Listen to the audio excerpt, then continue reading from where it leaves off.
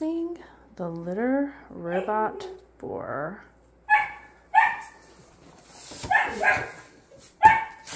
Best day ever for you and your cats. Pause it.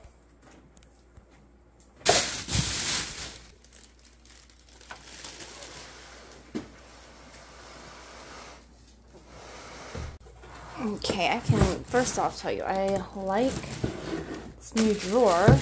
The bag, because I have those little things to tuck it in.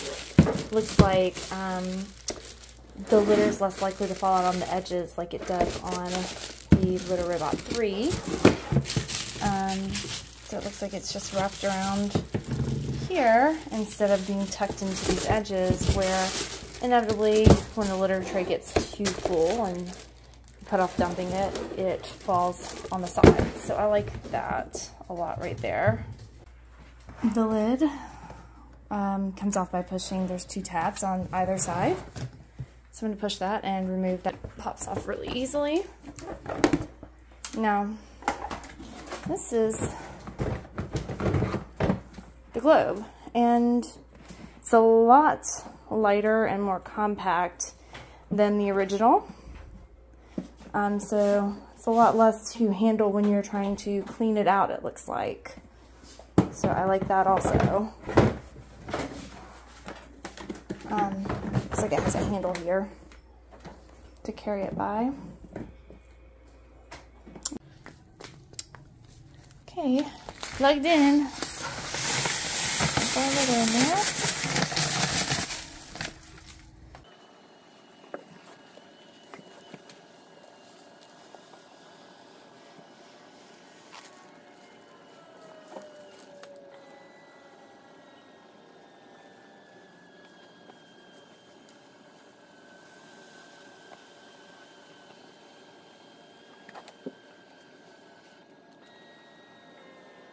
So the blue light's flashing, so I'm going to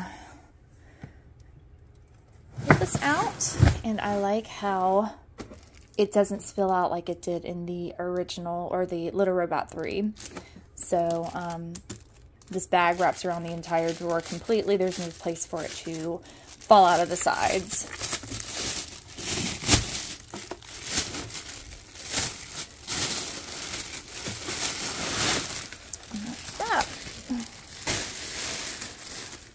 And here it is. Just wrap it around there. And hit the reset button. And we're good to go. Now we're going to cycle it.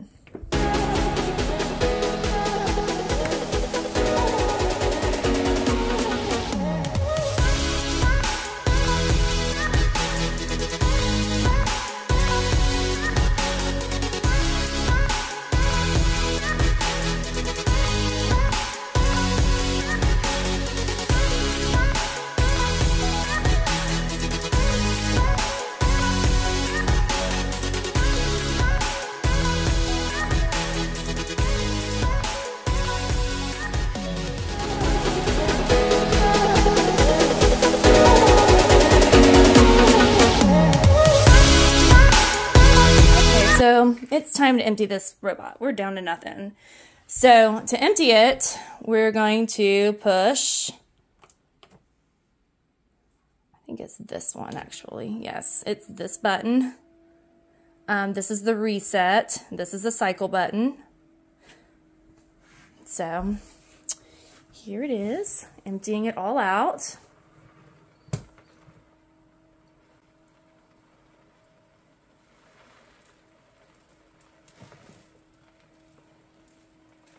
You can see how quiet it is. This is a huge improvement over the Litter Robot 3. Um, this is in my bedroom. I think I may have mentioned that before. Um, it doesn't bother me when I'm sleeping. The other one, I'm a light sleeper. It would wake me here and there. Um, even if it's outside the bedroom door, I've, one of my friends says it can wake her outside of her bedroom door. Okay, so I let the litter get too low. So um, this didn't come loose. So sometimes you're going to have to um, kind of scrape it off if it gets too low, and that's totally my fault. And to remove it, you're just going to push the tabs on the side. Comes off really easily. Um, and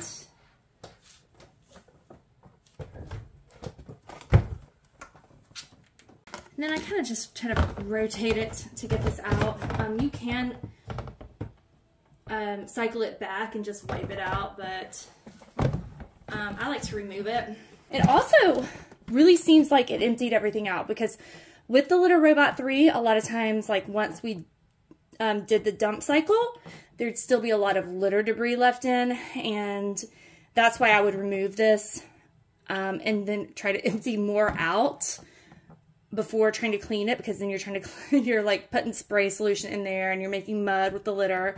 But um I'm not seeing anything um, falling out of here. Like normally it would come out of this. So um, this is the first time I've emptied it completely and tried to clean it.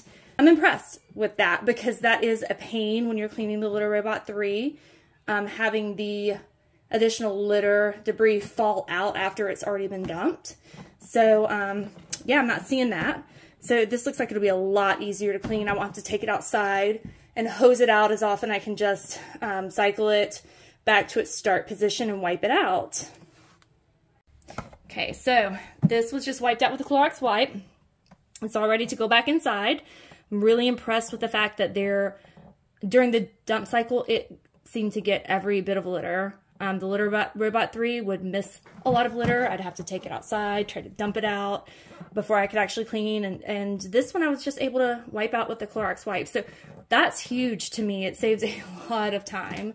Um, this unit is a lot lighter and smaller when you need to, when you do want to take it outside and do a deep clean. It's got a little carrying handle here, so that's pretty cool.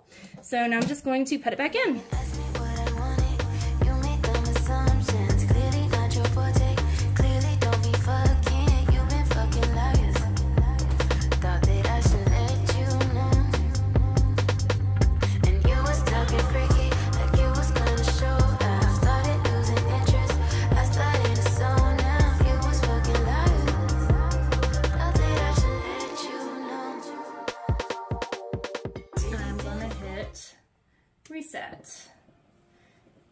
Now it's gonna, it's set to go, it's reset. All I have to do is add the litter back in. Here in the Litter Robot 4 app, I noticed something new is that it records the cat's weight when they go inside the globe. You can see when they're inside the globe, when a clean cycle is completed. You can also see an overview of how many times the robot has been cycled and how many times a cat has been inside the globe per week or per month. Uh, you can also do some controls such as cycling the robot from your app.